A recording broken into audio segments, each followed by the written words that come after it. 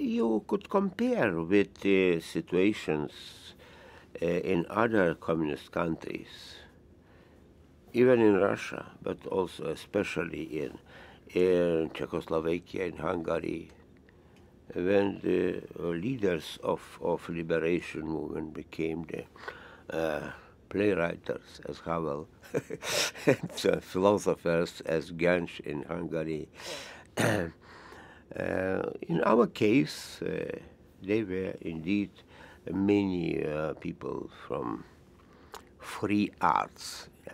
Free arts meant always some freedom in soul, freedom of expression, and even being uh, limited by Soviet system, they always fought for greater freedom of expression even in journalism, in the press, uh, under Soviet censorship. Uh, we uh, enjoyed all little breach in the censorship. Something was published.